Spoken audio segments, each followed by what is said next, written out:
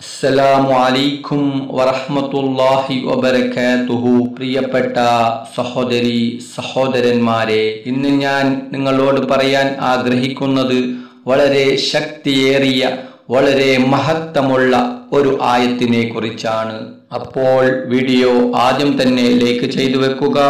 കൂടുതൽ ആളുകളിലേക്ക് വീഡിയോ എത്തിച്ചേരാൻ വേണ്ടിയാണ് നിങ്ങളോട് ലൈക്ക് ആവശ്യപ്പെടുന്നത്. ആദ്യമായിട്ടാണ് വീഡിയോ കാണുന്നതെങ്കിൽ ചാനൽ ഒന്ന് സബ്സ്ക്രൈബ് ചെയ്യുക. തൊട്ടടുത്ത് കാണുന്ന ബെല്ലൈക്കൺ ഓളൻ അനേബിൾ ചെയ്യുക. ഈ ആയത്തിന് വല്ലാത്ത മഹത്വമാണ് എല്ലാ രോഗങ്ങളും മാറാൻ രോഗങ്ങൾ വരാതിരിക്കാൻ ഈ ആയത്തിന് വല്ലാത്ത കഴിവുണ്ട്.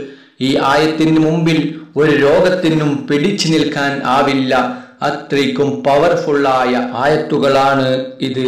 ആരെങ്കിലും ഈ ആയത്തുകൾ രാവിലെ ഓതിയാൽ ഉടനെ തന്നെ അള്ളാഹു സുബാനോ താല എഴുപതിനായിരം മലക്കുകളെ അയാളുടെ നന്മക്ക് വേണ്ടി പ്രാർത്ഥിക്കാനായി നിയോഗിക്കും. ആ എഴുപതിനായിരം മലക്കുകൾ വൈകുന്നേരം വരെ അള്ളാഹുവിനോട് ഇങ്ങനെ ദ്വാ ചെയ്തുകൊണ്ടേയിരിക്കും. ഇയാൾക്ക് നന്മ വരുത്തണേ അള്ളാ എന്ന് പ്രാർത്ഥിക്കും. ആ പ്രാർത്ഥിക്കുന്നത് മലക്കുകൾ ആയതുകൊണ്ട് ദുആക്ക് ഉത്തരം കിട്ടുമെന്ന കാര്യത്തിൽ ഒരു സംശയവുമില്ല. ഇനി മഗ്രിബിന് ശേഷം ആരെങ്കിലും ഈ ആയത്ത് ഓതിയാൽ പിറ്റേന്ന് സുബ്ഹി വരെ ഇതേ പ്രാർത്ഥന ആ മലക്കുകൾ ചെയ്യുന്നതാണ്. മാത്രമല്ല ആ വ്യക്തി എങ്ങാനും രാത്രി മരണപ്പെട്ടാൽ അയാൾ ഷഹീദായി മരിക്കുമെന്ന് മുത്ത് നബി സല്ലാഹു അലൈഹി വസല്ലമ തങ്ങൾ പറയുന്നു. രാവിലെ ഓടി മരിച്ചാലും ഇതേ ഷഹീദിന്റെ പ്രതിഫലമാണ് ലഭിക്കുന്നത്.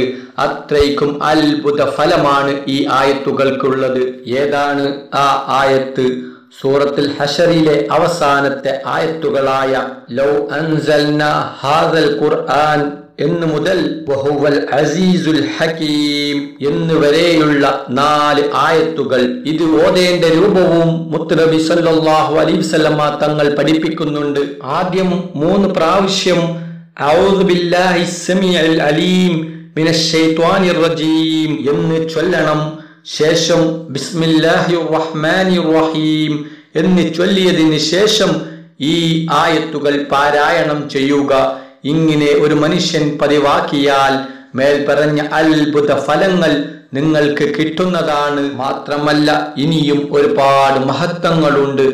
ആയതുകൊണ്ട് ഈ ആയത്തുകൾ എല്ലാവരും പതിവാക്കുക. ഇൻഷാ അള്ളാഹ്. അള്ളാഹു സുബാനോ താല തോഫീക്ക് നൽകട്ടെ. ആമീൻ. യാ റബ്ബൽ ആലമീൻ.